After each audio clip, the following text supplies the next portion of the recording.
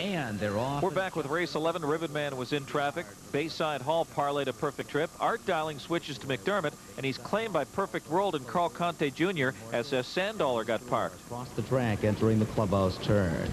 Ribbon Man has come away well. He's fourth on the inside. Motor City Smitty drops in behind him from fifth. Banker Jack is gapped slightly. He's two lengths further back in sixth. Followed up in seventh as they move around the turn by Art Dialing.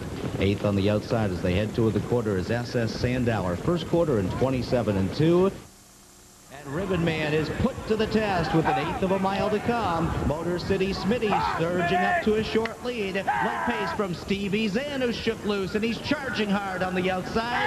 It's Motor City Smitty, Stevie Zan, SS Sandauer on the outside. Motor City Smitty holds on to win it. Stevie Zan was second. SS Sandauer third in 150 and three fifths. When a trainer moves a horse up off several losses, it's either a sign of confidence or overconfidence. In this case, we thought the latter, and we thought wrong. The son of Dexter Nukes does pack a late punch and somehow overcomes the first over trip tonight, ends an 0 for 8 here, and gets a new mark for Luca Derrico and MJG Racing.